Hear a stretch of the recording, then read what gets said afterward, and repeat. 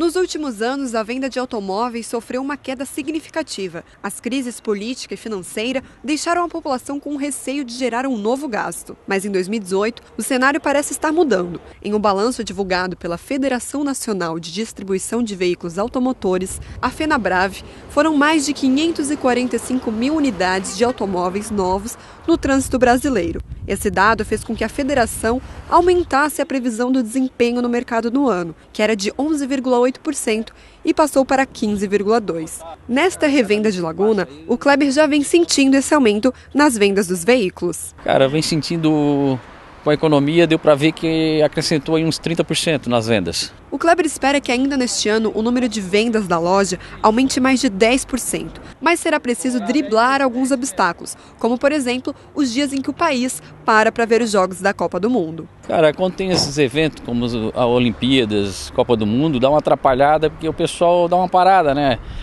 No dia que tem um jogo da seleção, o cara já vai ficar em casa, não vai querer sair. Isso já atrapalha. Uma das medidas que beneficiou esse aumento é a nova forma dos bancos realizarem o financiamento. O chamado score avalia se o cliente é um bom ou um mau pagante. E como se fosse um placar, aqueles que recebem mais pontos possuem juros menores. Cara, isso aconteceu devido à inadimplência dos clientes.